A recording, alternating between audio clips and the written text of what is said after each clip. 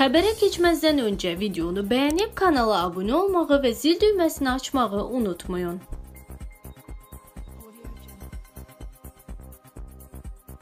Müzəffər Azərbaycan əskərləri azad edilmiş Şuşa şəhərindən görüntüləri paylaşırlar. Oxu24.com Deyaz istinadən xəbər verir ki, belə videolardan biri Telegramda yayımlanıb. Kadrlarda əskərlər burada səhəri qarşılamağın nə qədər gözəl olduğunu deyirlər. Şuşada səhəri açmaq çox gözəldir. Maşınlarımız gəlir. Şuşa şəhəri, kilsə. Məscidimiz hardadır məscid? Məscid burada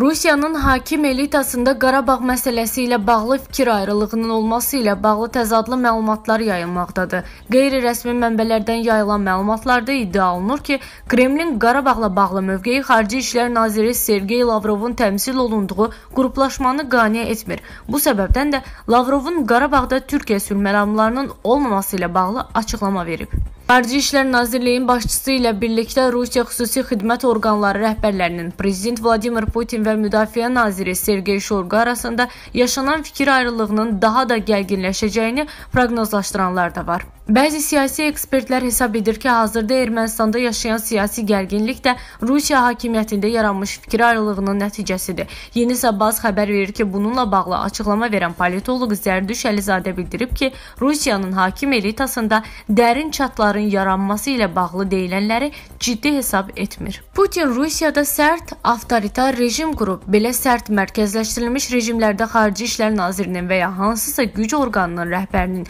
dövlət başçısının idarəsinə zidd getməsi sadəcə mümkün deyil. Deyilənlər normal məntiqdən uzaqdır. Qaldı ki, Qarabağ məsələsində Lavrovun verdiyi açıqlamalarda da qeyri-adi bir şey yoxdur. Lavrov sadəcə olaraq imzalanmış son bəyannamədən qəzəblənmiş erməniləri sakitləşdirmək üçün elə danışır. Ermənistanda hakimiyyət dəyişikliyinin də olacağını gözləmirəm. Düzdür, Rusiya prosesin sonunda Nikol Paşinyanı hakimiyyətdən uzaqlaşdırmağa çalışacaq. Amma Paşinyan hakimiyyəti də zəif deyil. Son 2 ildə hakimiyyət hakimiyyətini xeyli möhkəmləndirib. Üstəlik, qərb ölkələrinin dəstəyini əldə edib. Ermənistanda başlanan mitinqlərdə qarşıdakı günlərdə səngiyəcək. Çünki kütləvi aksiyalara başlayan 17 partiyanın yalnız biri parlamentdə təmsilçilik alıb. Qalan partiyalar 5%lik bariyeri də keçə bilməyib. Erməni cəmiyyəti bu partiyaların rəhbər şəxslərini Paşinyanla müqayisə edəndə yenə üstünlüyü indiki hakimiyyətə verəcək. Çünki Paşinyan onlardan fərqli olaraq xalqın malını daha az talayır. Başqa tərəfdən də Ermənistan və region üçün Paşinyanın hakimiyyətdə qalması daha sərfəlidir.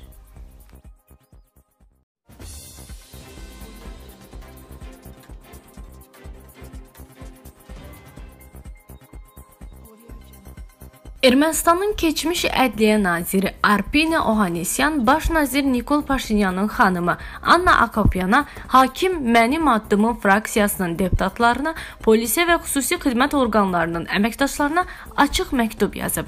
Yeni Sabah xəbər verir ki, Arpina Ohanesyan məktubda Anna Akopiyanı faktiki baş nazir kimi təqdim edib. Keçmiş nazirin məktubunu təqdim edirik. Hörmətli Anna, bu 2 il yarım ərzində həyat yoldaşınıza böyük təsirinizin olduğunu açıq şəkildə nümayiş etdirdiniz. İlk gündən Qarabağ mövzusuna girişdiniz. Əriniz utanc verici açıqlamalarına əlavə olaraq sülh təbliğatı aparmaq üçün yola çıxdınız. Bu gün bunun nəticələrini gördük.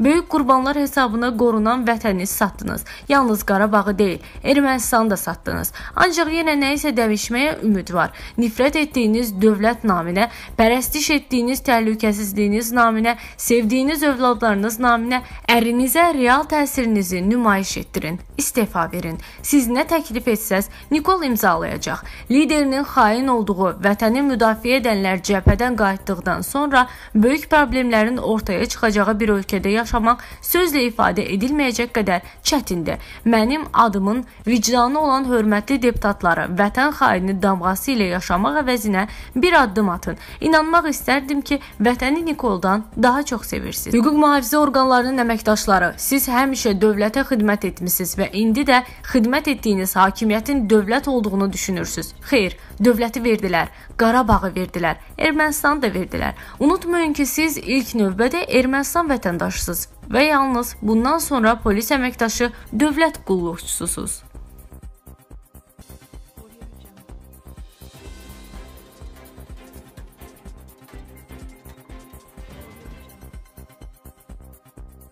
Azərbaycan Respublikası Səfərbərlik və Hərbi Xidmətə Çağırış üzrə Dövlət Xidmətinin 10 illik yubileyi medalının təsis edilməsi haqqında qanun verilib. Prezident İlham Əliyev Azərbaycan Respublikası Səfərbərlik və Hərbi Xidmətə Çağırış üzrə Dövlət Xidmətinin 10 illiyi Azərbaycan Respublikasının yubileyi medalı haqqında əsasnaməni təsdiq edib. Yeni Sabaz xəbər verir ki, əsasnaməyə əsasən Azərbaycan Respublikası Səfərbərlik və Hərbi Xidmətə Çağırış üzrə Dövlət Xidmətinin 10 illiyi Azərbaycan Respublikasının yubiley medalı ilə müvafiq icra hakimiyyəti orqanının müəyyən etdiyi Orqanda həqiqi hərbi xidmət keçən və xidməti vəzifələrini nümunəvi yerinə yetirən zabitlər, gizirlər və müddətdən artıq həqiqi hərbi xidmət hərbi qulluqçuları həmin orqandan ehtiyata və ya istifaya buraxılmış hərbi qulluqçular, habelə həmin orqanda səmərəli fəaliyyət göstərən mülki işçilər və həmin orqanın fəaliyyətinin təşkilində və inkişafında xüsusi xidmətləri olan digər şəxslər təltif edilirlər. Azərbaycan Respublikası Səfərbərlik və Hərbi Xidmətə Çağırış üzrə Dövlət Xidmətinin 10 illik Azərbaycan Respublikasının yubiley medalı ilə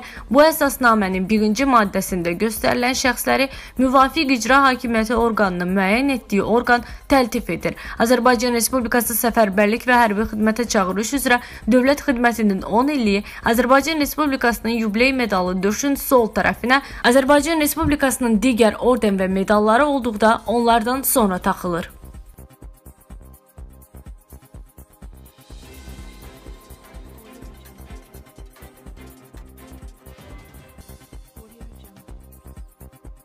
Ermənistan Azərbaycana 50 milyard dollar təzminat ödəməli olacaq. Publikaz xəbər verir ki, bunu Ermənistanın keçmiş baş prokuroru Ermənistanı Avropa İnsan Hüquqları Məhkəməsində təmsil etmiş Georg Kostanyan deyib. Biz bu razılaşma ilə təkcə əraziləri vermədik. Eyni zamanda Ermənistanın üzərinə 50 milyard dollarlıq öhdəlik qoyulur. Bu pulları biz və gələcək nəsillərimiz Azərbaycana ödəməli olacaq. İşğaldan azad olunmuş ərazilərin tam bərpası üçün də təxminən 50 milyarda yaxın pul lazım olacaq. Tarixi təcrübəyə görə təzminatı ödəyə bilməyən ölkə əvəzini torpaqla verməlidir.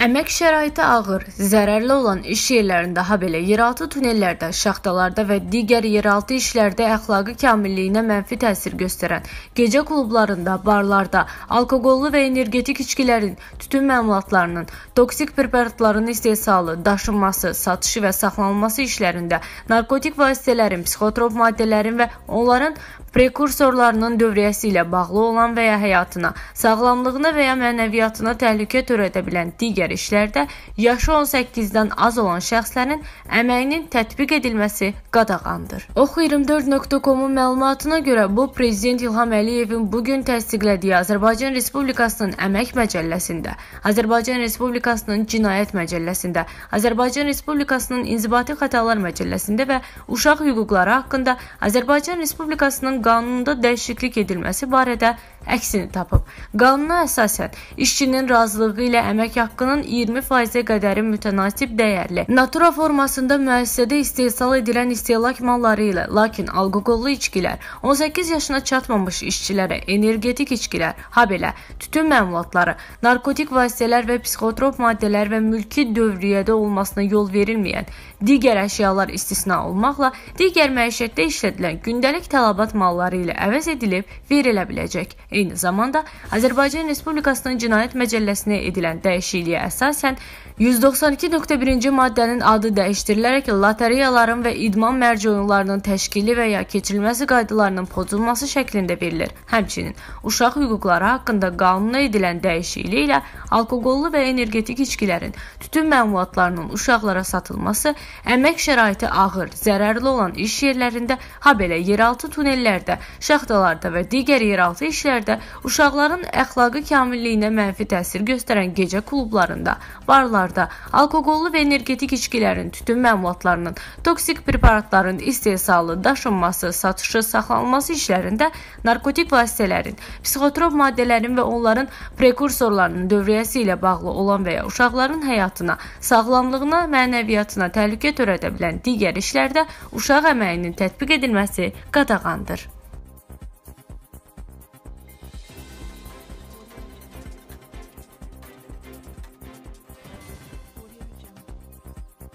Prezident İlham Əliyev bu gün Azərbaycan xalqına müraciət edib. Müraciətdə prezident Rusiya prezidenti və Ermənistanın baş naziri ilə imzaladıkları bəyanatdan danışıb, həm də geri qaytarılan yeni torpaqları xalqa elan edib.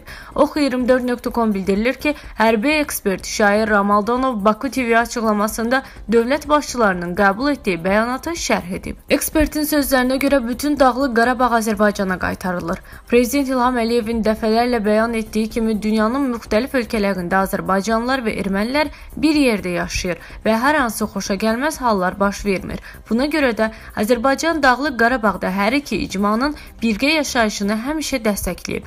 Adaptasiya müddəti ərzində Dağlıq Qarabağın bəzi hissələrində Rusiya və Türkiyə sülhməramlı qoşunları sabitliyin qaranti rolunda çıxış edəcək.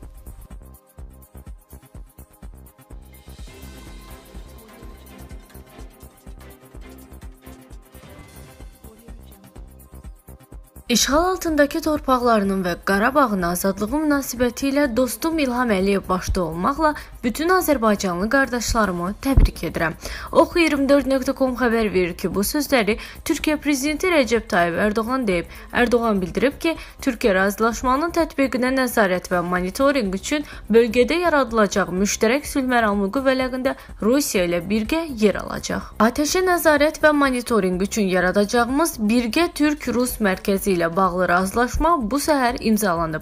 Bu mərkəz Azərbaycanın işğaldan azad olunmuş torpaqları üzərində qurulacaq. Dağlıq Qarabağdakı atəşkəsin pozulmasının qarşısını almağa dair bütün tədbirlər bu mərkəz tərəfindən görüləcək. Türkiyə ilə birgə Qarabağ mövzusunda Azərbaycan torpaqlarında yerləşəcək monitorinq mərkəzində əməkdaşlıq edəcək. Bunu Kremlin mətbuat katibi Dmitri Peskov deyib. Peskov qeyd edib ki, Dağlıq Qarabağdakı Rus sülhməramlıları atəşkəs rejimini qoruyacaq.